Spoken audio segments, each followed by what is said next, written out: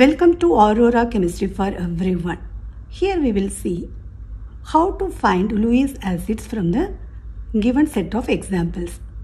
Which of the following are Lewis acid? H2O, BF3, H and NH4 plus. This question very easily we can solve by using a simple mnemonic dad is my hero such a beautiful mnemonic is nature each letter in this mnemonic represents the reason which is responsible for acidic strength. For example see D donating proton Bronsted acid. A accepting electron Lewis acid. So here itself we got the answer. So for Lewis acid it must be accept electrons. So we will see H2O, BF3, H plus and NH4 plus. In this H2O, oxygen is a central atom which carries lone pair electron. So if it is electron accepting only then it can consider as a Lewis acid but uh, it has extra electrons. So it is not an Lewis acid, it is Lewis base only. So we can come to BF3. So in this central atom is boron which is electron deficient. So it, it will accept electrons. So this is a Lewis acid. Next one is H plus hydride ion.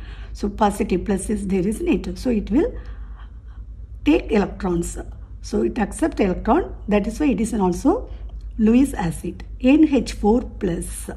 So same like H plus here also we have plus charge. So it means there is a possibility for NH4 plus to act like a Lewis acid, isn't it?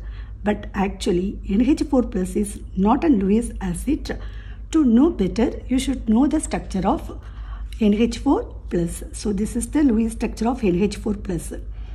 You can see that in that nitrogen, it does not contain any lone pair because four hydrogen atoms are attached with this nitrogen. If you see the total valence electron in NH4 plus 8 electrons. So the, those 8 electrons are involved in bond formations.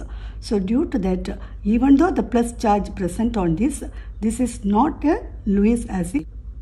It is a conjugate acid. So among these four examples, BF3 BF3 and H plus. These are Lewis acids. BF3 and H plus are Lewis acids. So just remember this mnemonic and you can solve all this type of questions so easily. That is my hero. Thanks for watching.